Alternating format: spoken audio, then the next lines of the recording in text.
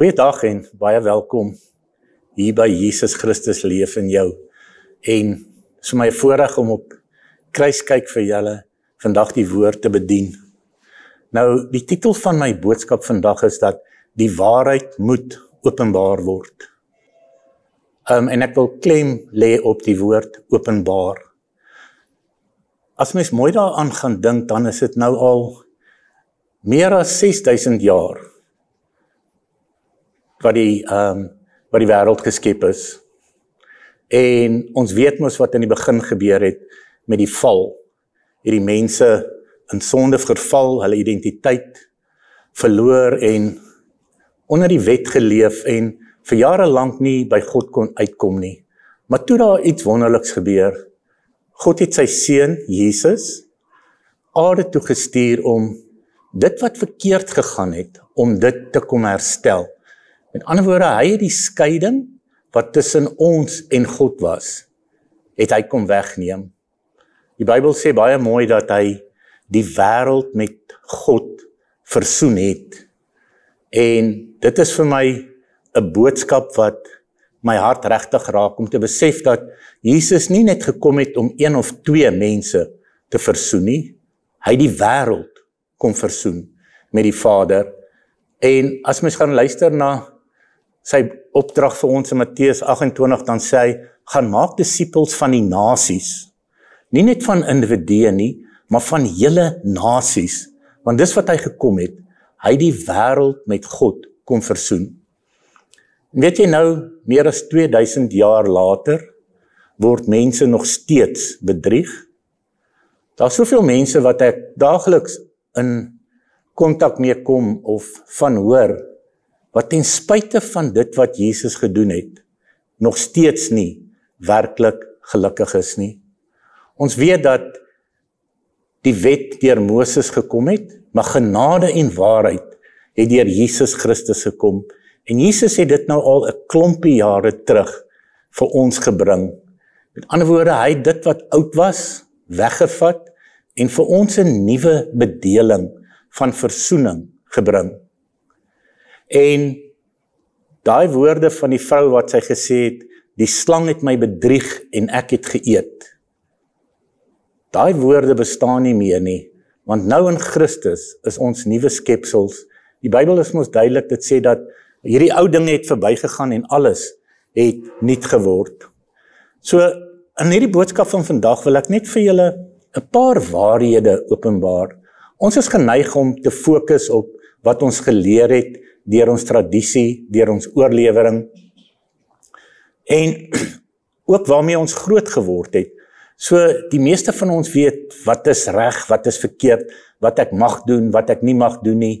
En omdat ons so sukkel partymal tussen wat mag ek doen, wat mag ek nie doen nie en daai onsekerheid is ons baie keer geneig om die fokus na onsself toe te verskuif, na ons eie belange, ons eie manier, ons hoe ons dink en hoe ons voel.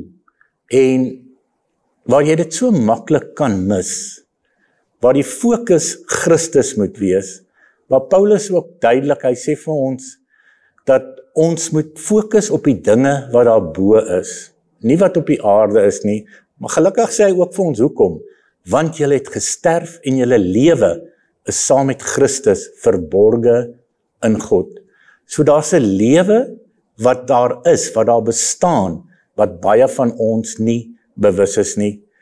En in die volgende paar boodskappe wil ek julle net bietjie meer bekendstel aan wat Jesus werklik vir ons gedoen het en probeer om jou te kry om nie meer 'n sondaars mentaliteit of 'n sondaar se manier van dink te hê nie, maar om op daai punt te kom waar jy besef maar God het my geroep En omdat hy my geroep het, het hy my regverdig gemaak en hy het my verheerlik. En so ek is nie net sommer enige iemand nie en jy natuurlik ook nie. Ons is kinders van God. So belangrik om te besef is jy kan oorleef met tradisie en godsdiens. Maar dis die waarheid wat ons vrymaak. Die waarheid van wie ons regtig in Christus is. Die waarheid van wat het Jesus kom doen? Die waarheid van hy het alles wat verkeerd was regkom maak. So alhoewel ons tradisie en oorlewering belangrik is, is dit belangrik om op dit te fokus wat relevant is in die tyd waar ons nou is. 1 Korintiërs 2 vers 14 sê: Die natuurlike mens neem die dinge van die gees van God nie aan nie. Hoekom? Want dit is vir hom dwaasheid en hy kan dit nie verstaan nie omdat dit geestelik beoordeel word. So vandag wil ek jou help om op te hou probeer word wie jy is en daai realiteit in te beweeg van ek is wie ek deur God se genade is. So ek het 'n klomp het jy geweet stellings wat ek vandag met julle wil deel. En ek wil hê jy moet mooi daaraan gaan dink na die tyd, want as jy hierdie stellings waar maak, dit is hierdie waarheid. Dit is soos 'n saad van Christus wat in jou geplant word en as ons toelaat dat dit groei, dis dan wanneer ons opgroei en 'n volwasse man raak, iemand wat in die volle grootte van Christus wandel. Nou ek wil sommer afskop met die eerste vraag. Het jy geweet dat God die Vader in jou is? Dink mooi daaraan. Het jy geweet dat God die Vader in jou is? Ons is baie keer geneig om te dink as God wat iemand wat deur ver is wat ons dophou. Maar ons besef nie altyd dat hy ons asem, ons lewe en ons alles is nie. En die versie wat daarmee gepaard gaan is Efesiërs 4. Daarvan vers 4 af waar hy sê Dis een liggaam en een gees soos julle geroep is. Een hoop van julle roeping. Een Here, een geloof, een doop. Nou moet jy mooi luister, hier kom dit nou. Daar is een God en Vader van almal. Ek hoop jy het gehoor. Daar is een God en Vader van almal en hy is oor almal, deur almal en in julle almal. Dis iets om te gaan oor nadink. Hy God is nie daar ver nie. Hy's by jou, oor jou, en in jou.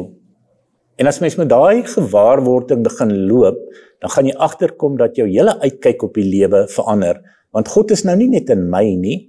Hy leef mos nou in ander mense. So die manier hoe ek na ander mense kyk, hoe ek ander mense behandel, gaan nou dramaties verander. Dan baie keer twyfel ons oor ons identiteit en wie ons is, omdat ons nie altyd weet dat God ons Vader is nie. Nou 'n versie wat dit mooi vir ons uitbeeld is Johannes 20 vers 17 waar Jesus nadat hy opgestaan het vir Maria sê Maria ek het nog nie opgevaar na my vader nie maar gaan na my broeders en sê vir hulle ek vaar op na my vader en julle vader. En dan hou nie daarop nie dan sê hy en my God en julle God.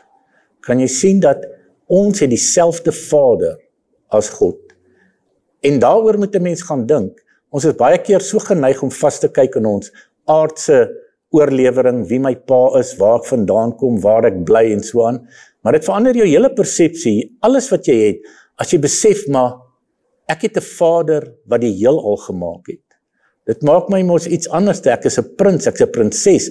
Dit maak ons koningskinders en dis hoe ons na onsself moet begin kyk.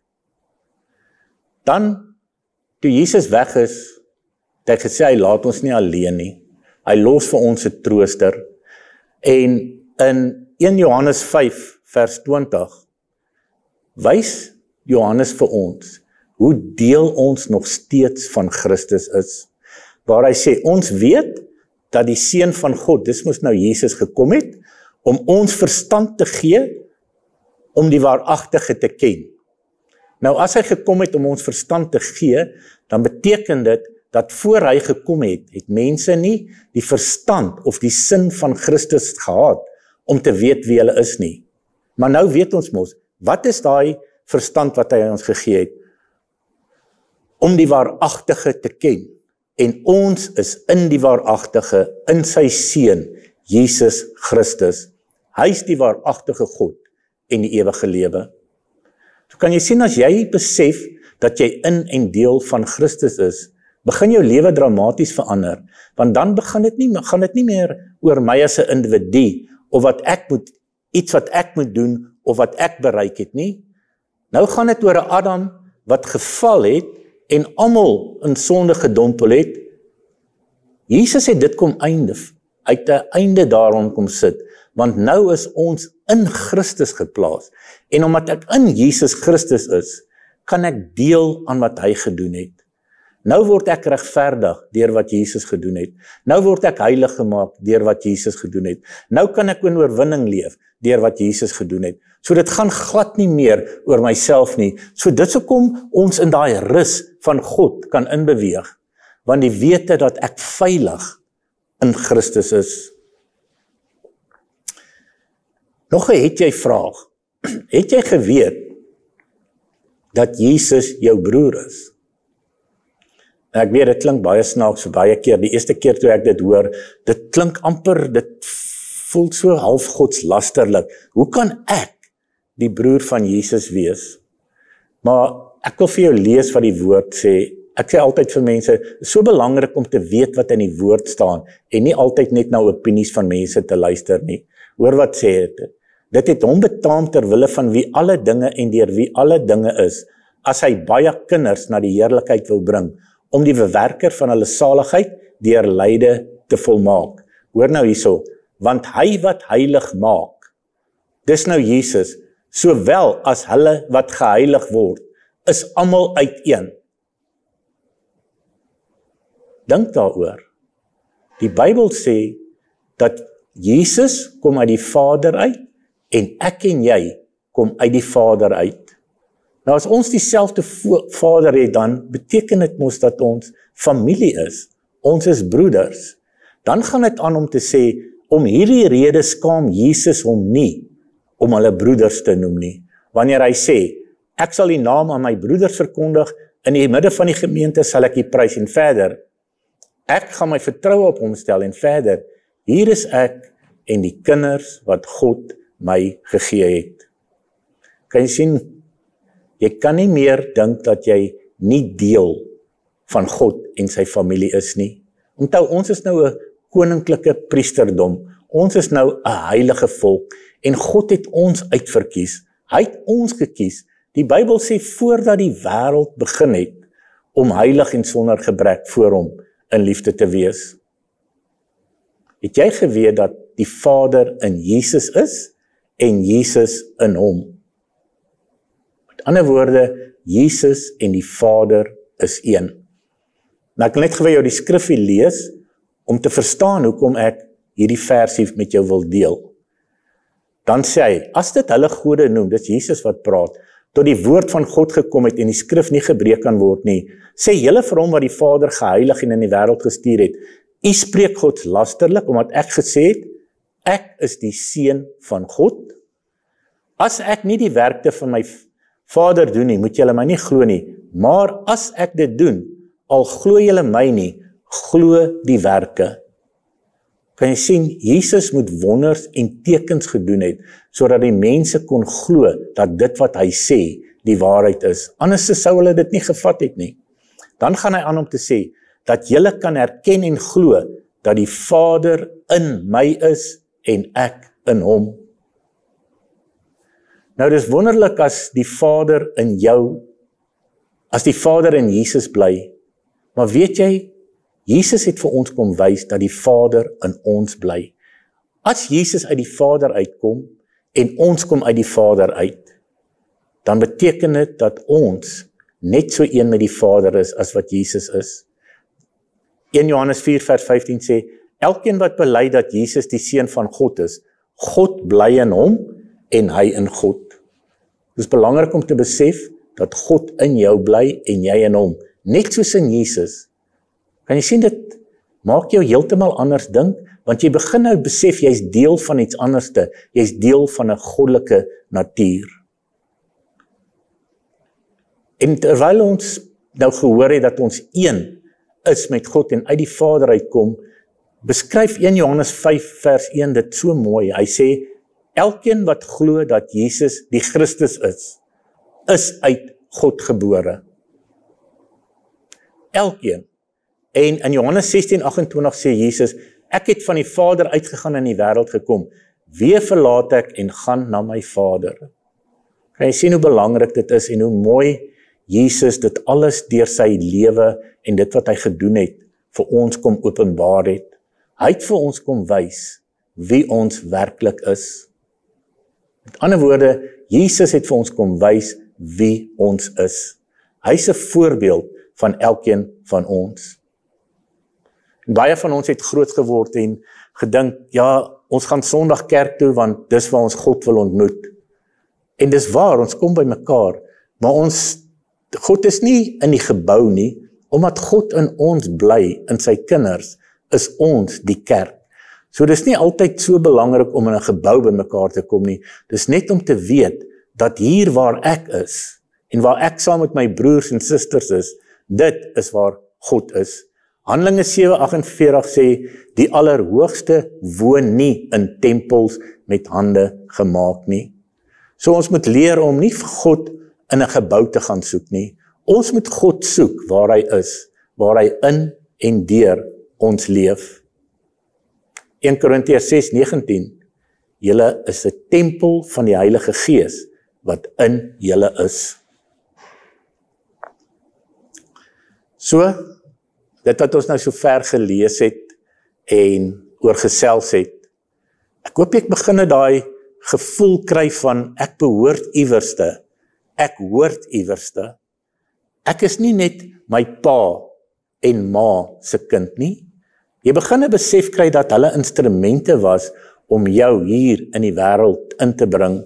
Maar die jy wie jy is, daai goddelike heilige wese, jy kom uit die Vader uit en Galasiërs 3 vers 26 sê: "Julle is almal kinders van God deur die geloof in Christus Jesus." Die Engelse vertaling sê: "For you are all sons of God." Through faith in Christ Jesus. En ek het agtergekom in die pad wat ek stap, daar's min mense wat in die woord almal glo.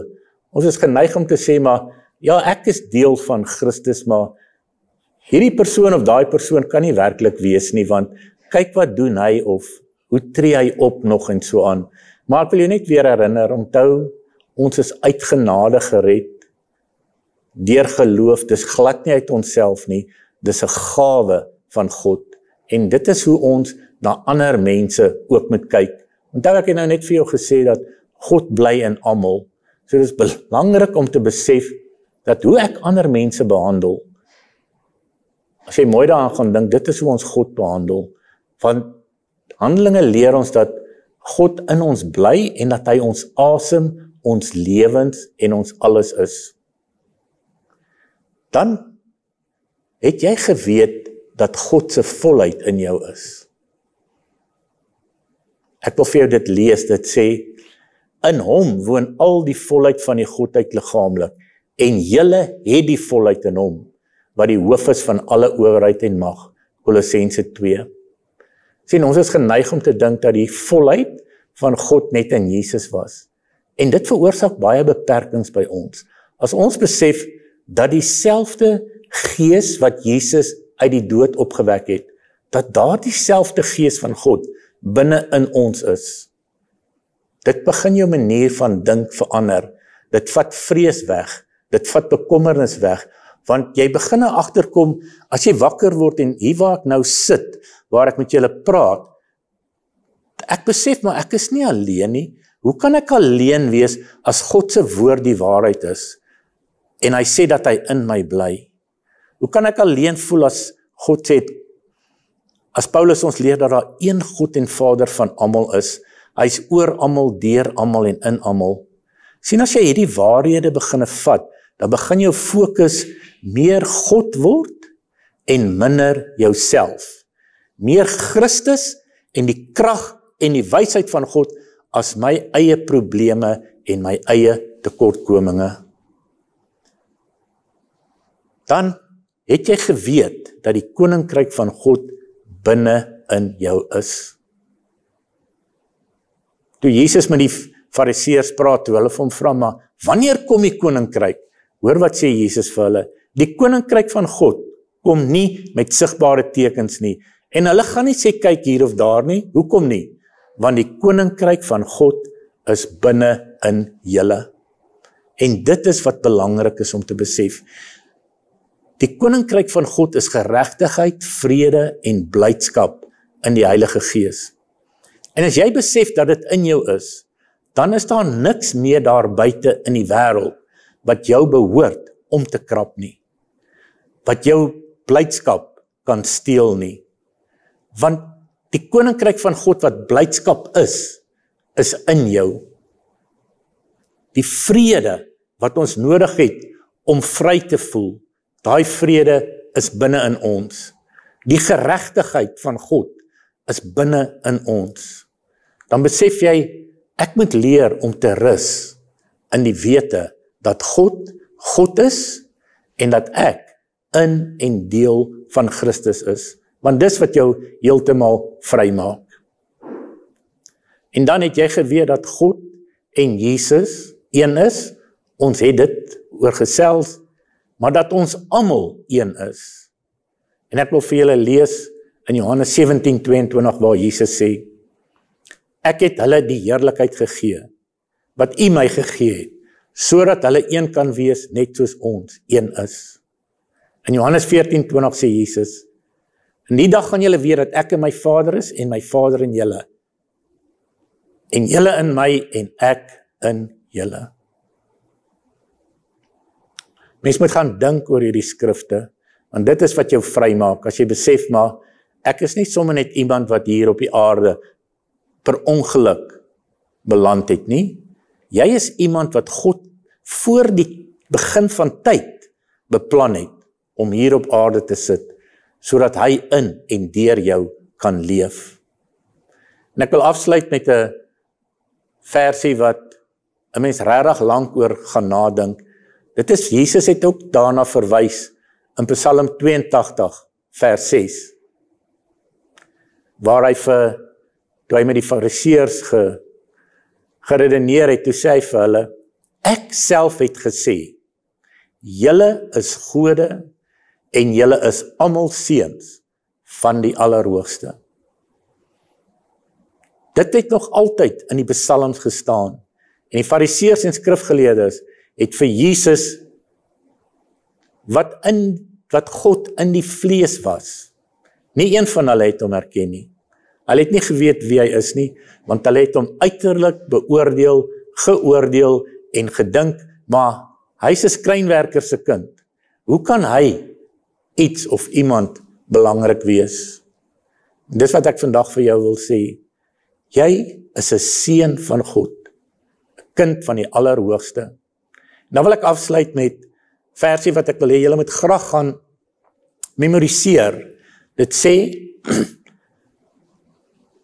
Ons weet dat vir hulle wat God liefhet, alles ten goeie meewerk vir hulle wat na sy voorneme geroep is, want die wat hy van tevore geken het, nou moet jy mooi luister, het hy verordineer om gelykvormig te wees aan die beeld van sy seun, sodat hy die eersgebore kan wees onder baie broeders.